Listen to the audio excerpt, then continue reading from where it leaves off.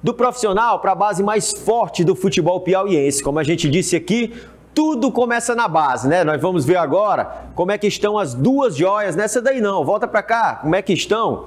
As duas joias do Boca Juniors no Piauí que estão alçando voos no futebol brasileiro. Os crias do Boca saíram daqui para um dos mais fortes e tradicionais clubes do Nordeste, o Retro. Agora, na tela do jogo aberto, Piauí.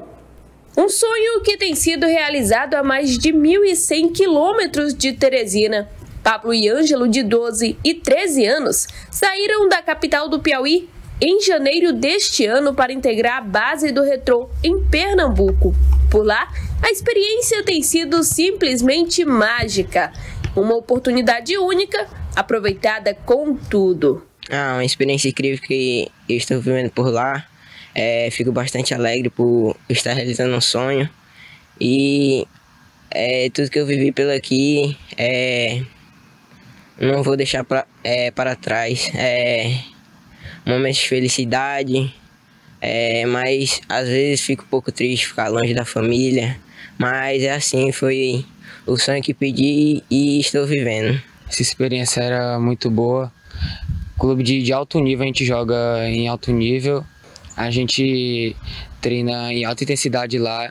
Enquanto isso, em Teresina ficou a saudade.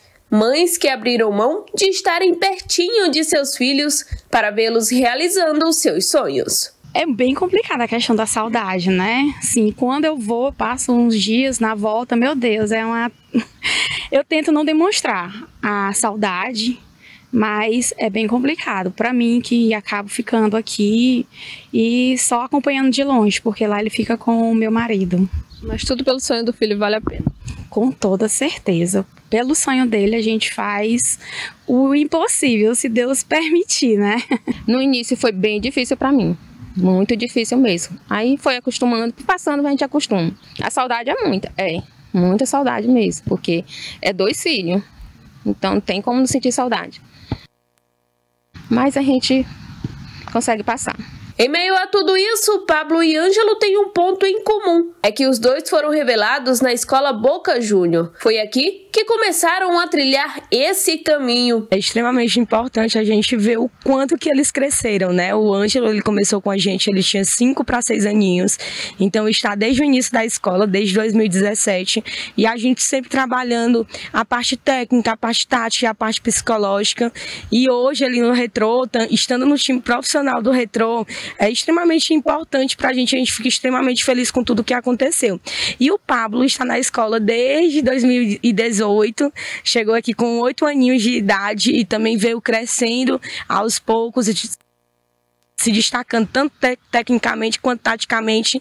E os dois estarem juntos também é muito importante. Um vai dando sempre força para o outro. A gente sabe que a vida de jogador profissional não é nada fácil mas o apoio deles o apoio da família e o apoio da escola de futebol Boca Juniors é extremamente interessante e importante para que eles venham evoluindo também nesse cenário do futebol. Todo aprendizado adquirido no Boca tem feito a diferença. Os atletas têm se destacado no time pernambucano, mostrando todo o talento que desenvolveram na escola. Precisa ser esforçado para a gente conseguir conquistar nossos sonhos e que, ah, família, essas coisas, a gente tem saudade, mas a gente não pode perder essa oportunidade de ser jogador de futebol. A gente tem que, a gente tem que ter sangue nos olhos para conquistar os seus sonhos ah, muito importante na minha vida. Foi ele que me deu várias oportunidades para estar lá no Retro. Boca Júnior, ele ajudou bastante meu filho através dos campeonatos, dos avaliadores que vinham, né, para poder é, ver os meninos olheiros. E quando o Gabriel veio, que ele era do do retrô, acabou que trouxe essa oportunidade, chamou os meninos, escolheu e nós ficamos bem surpresos no tempo. Graças a Deus ele foi, participou da peneira, deu tudo certo, é, foi selecionado e agora a gente vive, né? Assim, o nosso, objetivo, nosso foco é dar toda assistência para ele lá. O Anjo, desde pequenininho, sempre gostou de bola sempre gostou de estar jogando bola dentro de casa. Eu, e eu disse para mim mesmo que ia procurar uma escolinha para ele, para ele poder jogar, né? Mas nunca imaginei que o anjo fosse tão longe. É, e um amigo me indicou, a escolinha fui em outras escolas, e um amigo indicou a escolinha do Boca Juniors que tinha aqui, eu vim, deu certo. E saiu daqui para outro, outro estado. Tudo isso é reflexo de que a escola Boca Juniors não só ensina futebol, mas também se preocupa com a educação dos seus atletas.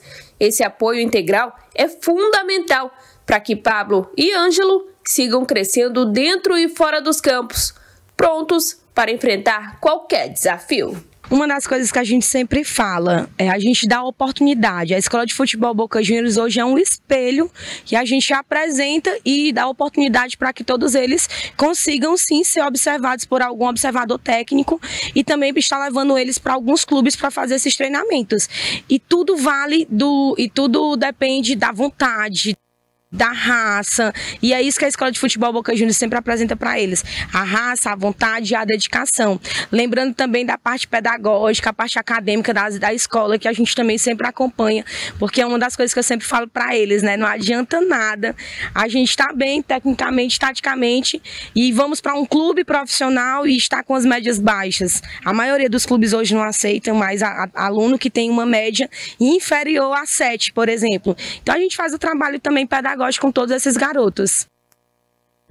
É isso, Tia Nara, parabéns. Esporte e educação andando, ó, sempre juntos e lado a lado. Muito legal, né? Parabéns, Pablo, Ângelo. Vocês sigam sonhando e realizando, né? O sonho que, como a gente viu aí, é da família toda, né? É também da família Boca Júnior. Parabéns às mamães, os papais são fundamentais nesse processo todo, a família. Parabéns aí mais uma vez, Tia Nara, incansável ao lado do meu amigo Tiago, professor Wesley e de todos que fazem a escola de futebol do Boca Juniors no Piauí. Nosso parceiro desde o primeiro dia que nós entramos no ar aqui. Por isso que a gente faz questão de mostrar essas histórias, porque são histórias vencedoras. Por